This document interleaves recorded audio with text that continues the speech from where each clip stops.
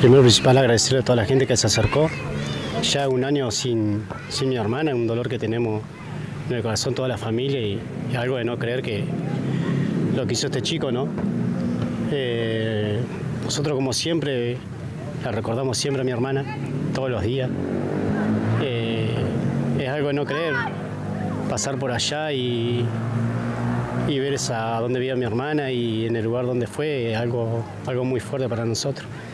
Eh, sí, sí, nosotros estamos permanentemente en contacto con los abogados, ellos nos están informando de todo y, nosotros creemos en Dios y sé que Dios va a hacer justicia. Y el que hizo esto va a pagar y no va a salir nunca más en su vida de la cárcel. El culpable que pague y, y que quede encerrado para toda la vida, eh, porque eh, fue mi hermana y el día de mañana puede ser cualquier otra madre más. Y no solamente queremos justicia.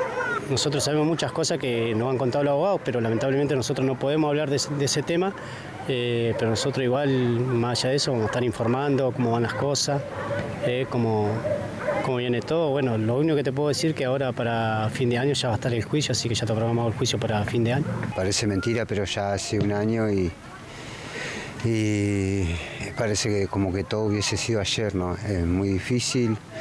Eh, todos los días nos acordamos de mi hermana y Dios quiera que esto no vuelva a pasar en ningún lado, ¿no? En ningún lado en, el mundo, porque es un dolor que no te lo sacas más de adentro y, y lo único que pedimos es que se haga justicia, que el que hizo esto, que lo pague, eh, que no salga más, que se quede ahí adentro, que lo encierren, porque no queremos que haya otra Marisa.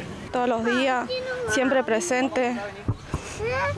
Cada uno de sus recuerdos siempre lo llevamos presente, nada pidiendo que se haga justicia, que nunca más vuelva a pasar algo así acá ni en ningún lado. Nada, es muy fuerte, doloroso. Es estar viviendo sin vivir.